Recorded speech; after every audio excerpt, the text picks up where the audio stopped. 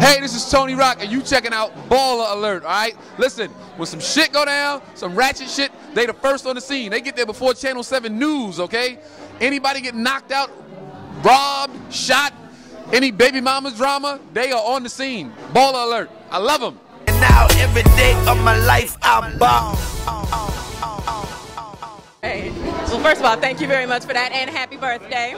We're out here celebrating, of course, the birthday, your birthday, the BET Awards, but most of all, we want to talk about, we love charity, not just the ratchet stuff, and we want to talk about the My Rock Foundation. What is that, and can you tell us a little bit about it? My Rock was started by my sister and I to, and, to educate people about diabetes. My father had diabetes. He passed away when I was a stupid teenager that thought I knew everything and, you know, didn't want to listen to him. So now I miss him even more than you could ever imagine.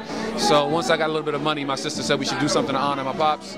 We started the My Rock Foundation just to let people know it's not the end of the world to have diabetes. It's like you can live with it you can work out, you can eat right, and you can live a long life. It's not the end of the world. But people just don't know better, so they don't do better.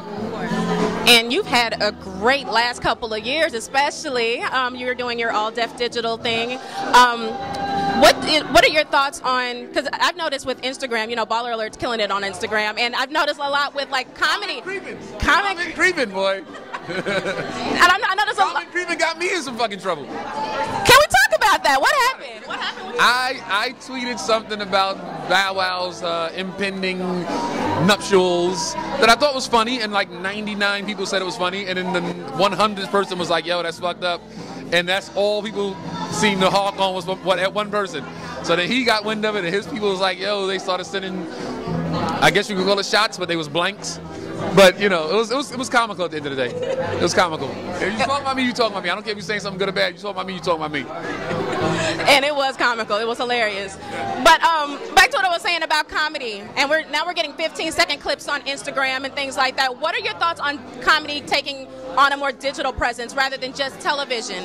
Uh, I, so, you know what? A lot of stand-up comics don't like those those 15 second guys. But I don't mind them. It's just another way to get comedy out there. And I think they realize, I'm sure they realize, because I see a lot of those guys at my shows every week. So they realize how hard it is to do stand up.